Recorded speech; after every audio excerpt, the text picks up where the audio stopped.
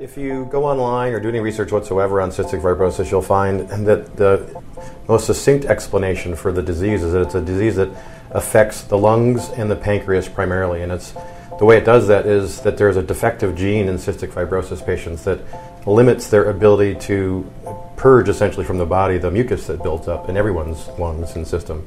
And that buildup causes the failure of multiple organs, not just the lung and the pancreas. And so if you think about you know, all the things that a human being needs to live, we need water, we need food, and we need air.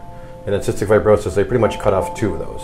you can't digest foods, and your lungs have a difficulty in processing the oxygen. So it's a very devastating disease.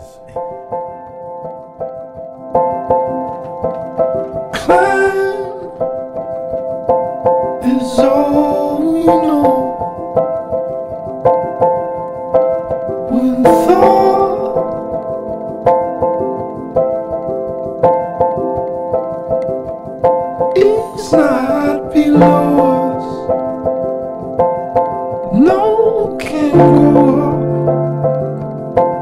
And that iron ground.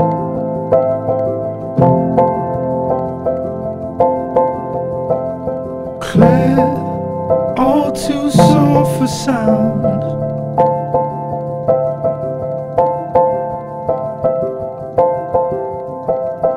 Bed is hardly shown. Scraped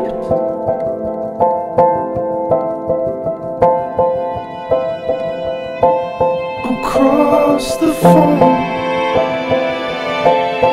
like they stole it.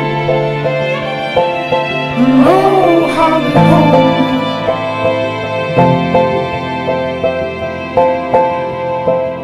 it. Claire,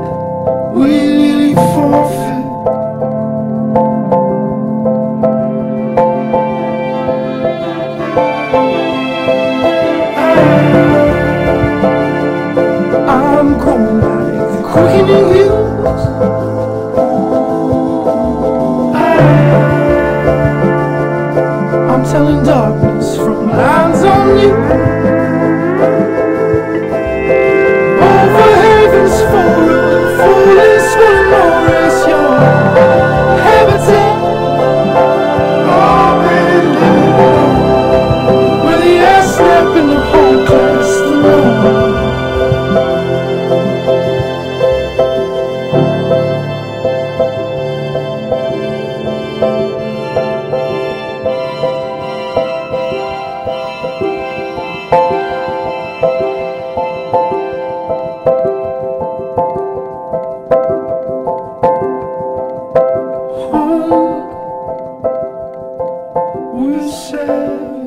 High.